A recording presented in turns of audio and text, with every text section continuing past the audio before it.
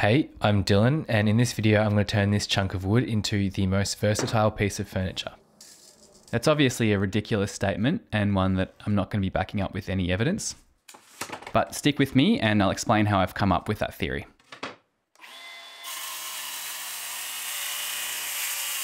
I ride my bike to and from work most days, and I find it a really great time for thinking and coming up with ideas. It's almost like a meditation. It's an hour of my day where I'm not looking at a screen and I'm not distracted. And I can almost go through the whole design and build process just mentally. I guess it's almost like a super productive daydreaming process where I'm also trying to avoid being hit by a car. And the idea for this piece was one of those daydreams that sort of spawned and grew over a few weeks. So the basic idea behind this project was to build a stool with two opposing legs and hopefully make it strong enough that these two unsupported ends of the legs look like they're floating, which is the plan, but there are some predictable issues that pop up, which we'll get to. So up until this point, you've seen me break down the chunk of wood into smaller slabs, and I've let that rest for a week or so to let it reacclimatise. And in that time, I've made a template for the legs out of MDF. So after being resawn and allowed to rest, these pieces of wood have twisted a bit. So it's off to the jointer to get them nice and flat again. This particular timber is recycled ironbark, which I pulled out of a Queenslander that was being demolished.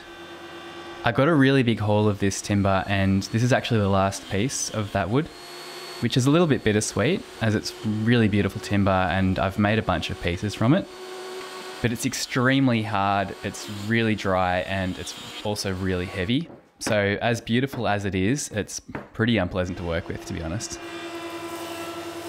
In saying that this is the most versatile piece of furniture, it's obviously a bit tongue in cheek. But my initial dimensions for this stool were based on the shape of a milk crate.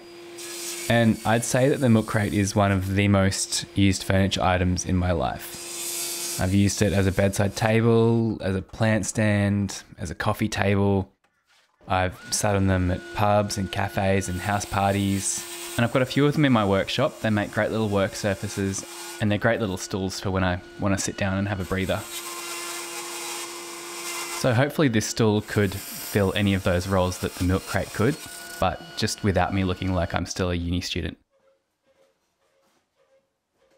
So back to the build. After cutting out my leg blanks, I can get my crusty old tenon cutting sled out and cut some bridle joints.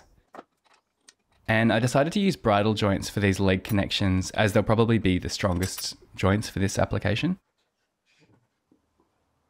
I also reckon that they're probably one of the coolest looking joints as well. I'm lowering the table saw blade here so it's about, I don't know, 5 mil lower than the thickness of the workpiece and that's to keep things nice and neat.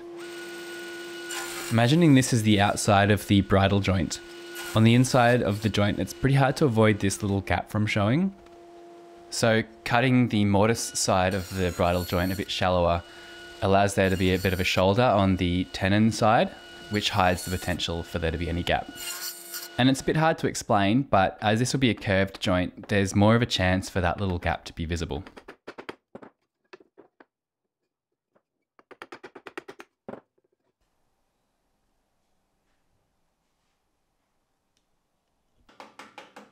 After I've finished the slot mortise half of the joint, I can cut down some stock for the tenon half of the joint.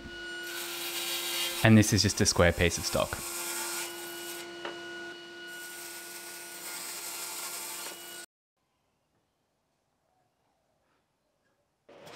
I was aiming to creep up on the correct table saw blade height here, but as luck would have it, I actually got it right on the first try, which was nice.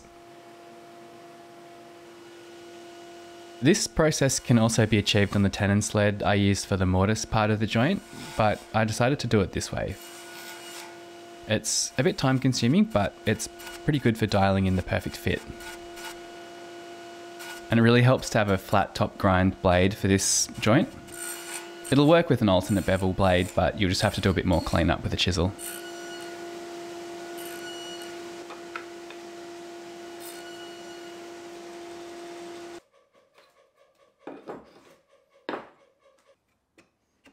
The joints came out pretty close to being the perfect fit, but they're always going to need a little bit of cleanup.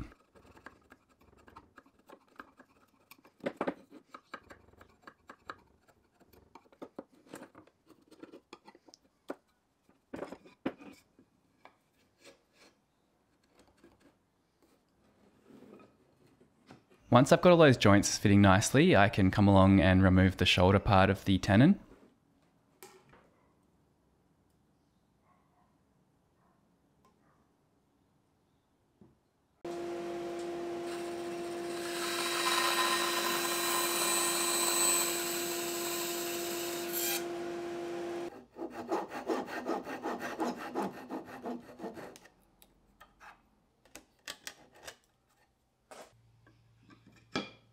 And after a bit more chisel cleanup, the joint's looking pretty schmick.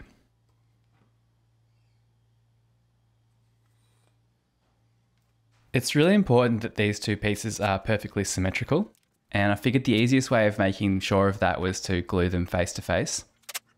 And I'm just putting some tape on these bits so I don't accidentally glue them together.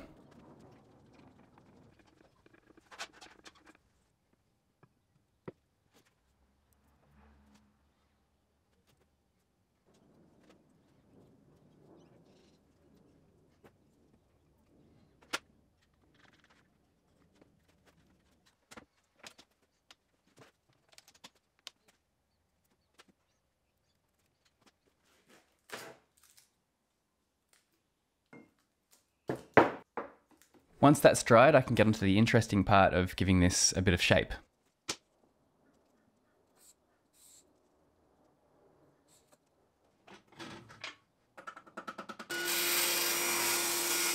I can start out by cutting the bulk of the straight lines at the table saw, and I'll finish off the round parts at the bandsaw.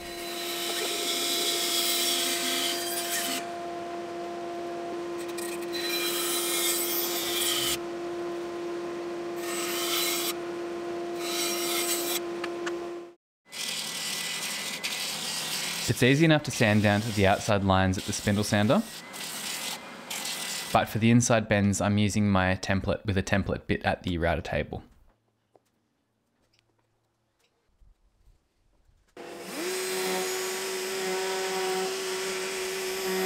This wood's an absolute nightmare to route, so I'm just taking it nice and easy and sneaking up on a final pass just to avoid any nasty catches.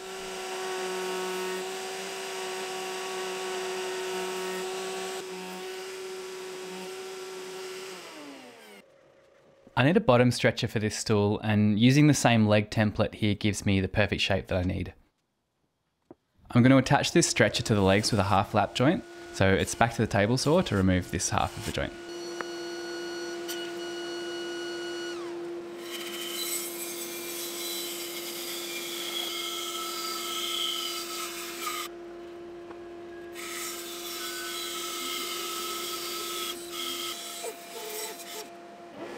After bandsawing off the bulk of the material, it's back to the router table to finalise the shape.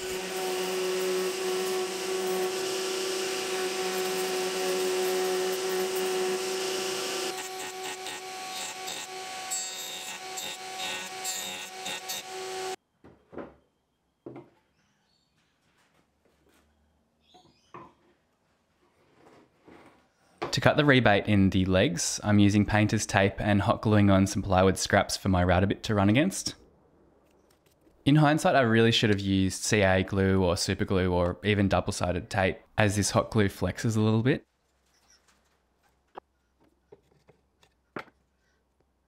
I should have also attached a bigger plate on my router base. This is pretty precarious. Luckily I didn't have any issues, but using a larger base would have been a much more sensible thing to do. And you can see here the issue with the slightly flexible hot glue. It also didn't turn out to be an issue, but it definitely could have. You can see one tiny spot where the router fell into the cut a bit, but for how many silly things I did during that process, I'm pretty lucky that that's the extent of my issues.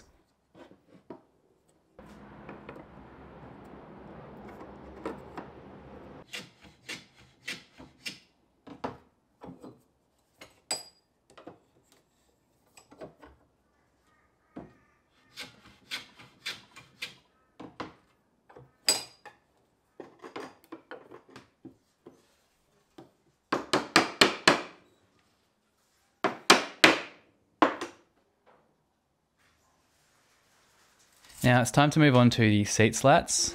And for that, I'm going to be using this piece of white mahogany. This is a little bit tricky to explain, but I'm going to use the domino to cut mortises in the legs, and then I'll cut strips of the mahogany and round them to essentially make long dominoes.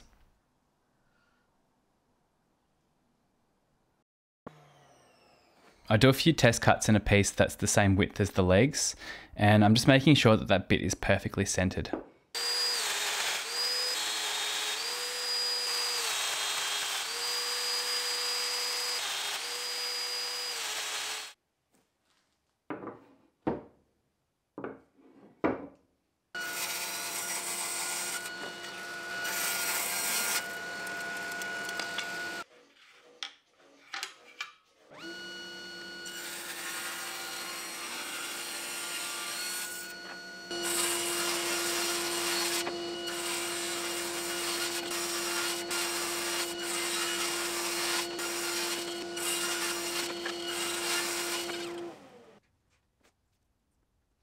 Off camera, I made a template for these slats.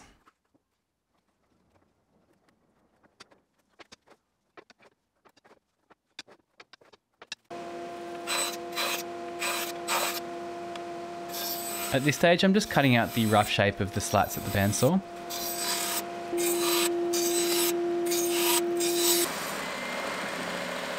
I'm really not sure what I was thinking when I was trying this, but after taking off my stupid cap, I put on my thinking cap and made a template to repeatedly be able to cut out the final shape of these slats.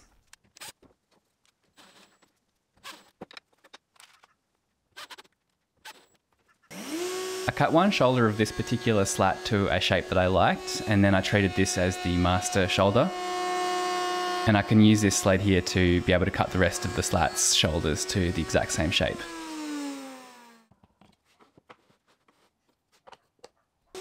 And it would probably be a fairly heavy cut on the router, but I reckon I could probably get away with not even cutting out the basic shape of the bandsaw.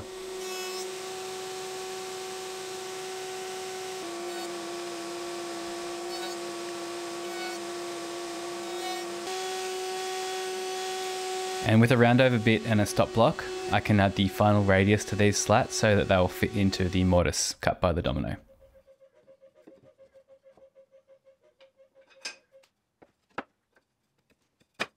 So before I glue these slats in, I have to round the legs over. And by this point of the project, I was so sick of my router screaming at me, so I bought this little adapter.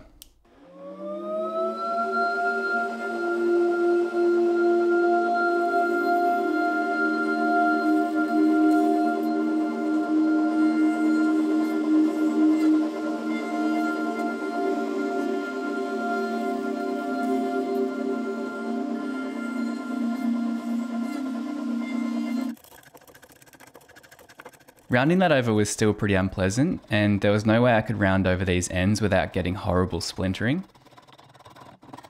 So the only way around that is to hand shape these ends, which is actually pretty enjoyable.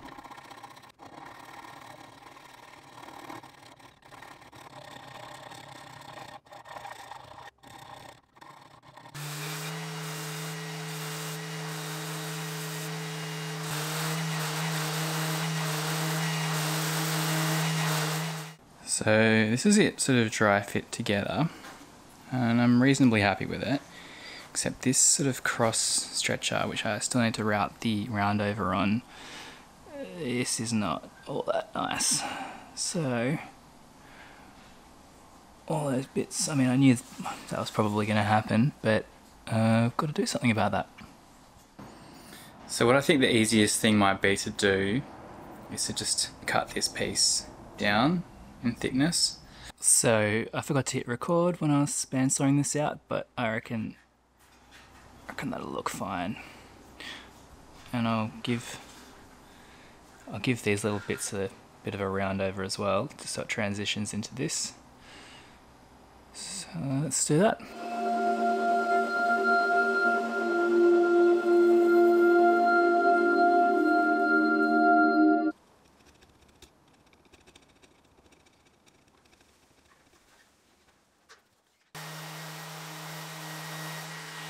Before gluing up, I give everything a sand, as it will be much harder to do all this once it's assembled.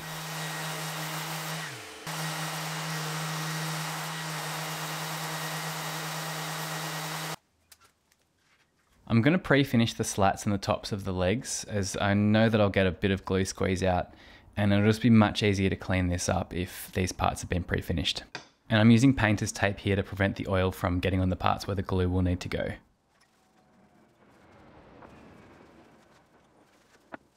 And I'm using boiled linseed oil here as the finish.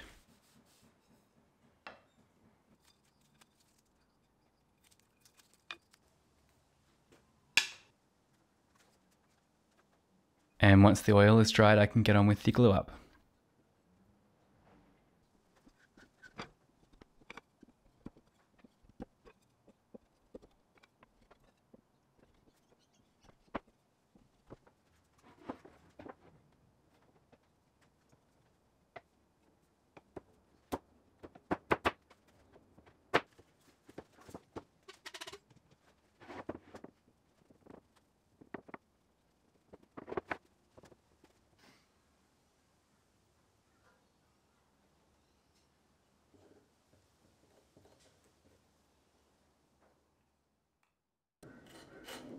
Once the glue had dried, I could do some final shaping on the bottom stretcher.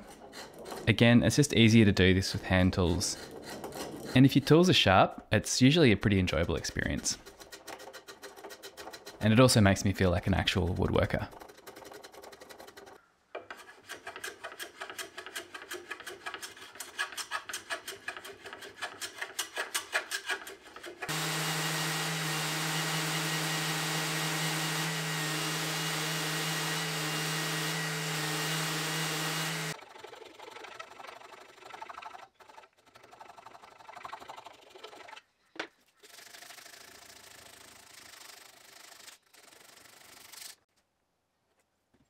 I had one small gap which needed addressing, but a strip of wood, some wood glue, and some sawdust, and it's practically invisible now.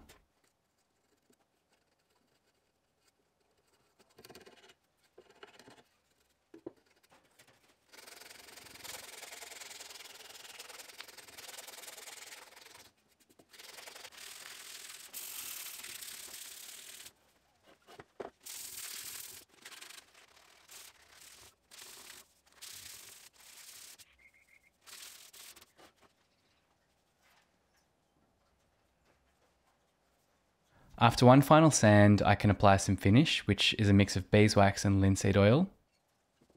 I use this on a lot of my pieces that don't require a super durable finish. It's really easy to make, it's really easy to apply, and it looks really good. And it's also really easy to touch up down the track if a piece starts to look a little bit tired.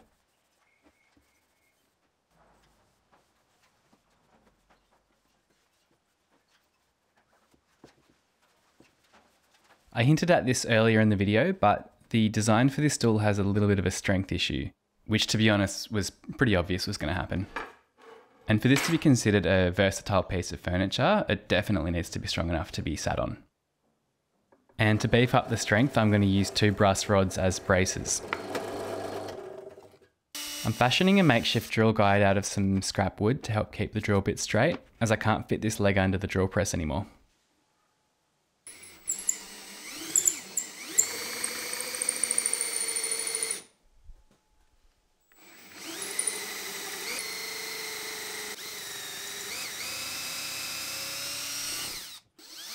And for the underside, I'm just eyeballing it as this hole doesn't have to be that deep.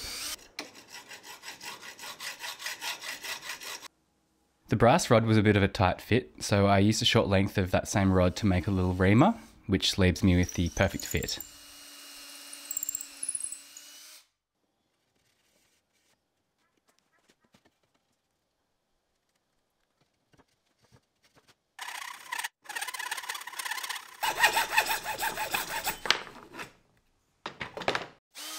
I wet sand the brass from 400 grit up to 1200 and then I use some polishing compound on a bit of leather to finish it off.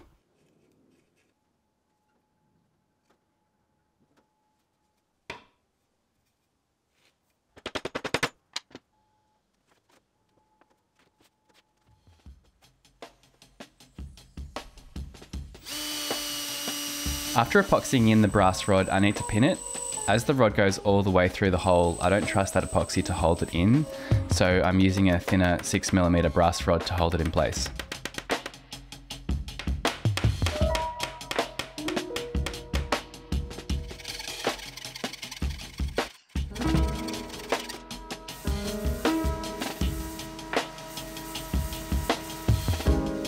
And after another light sand and the final coat of finish, the stool's done.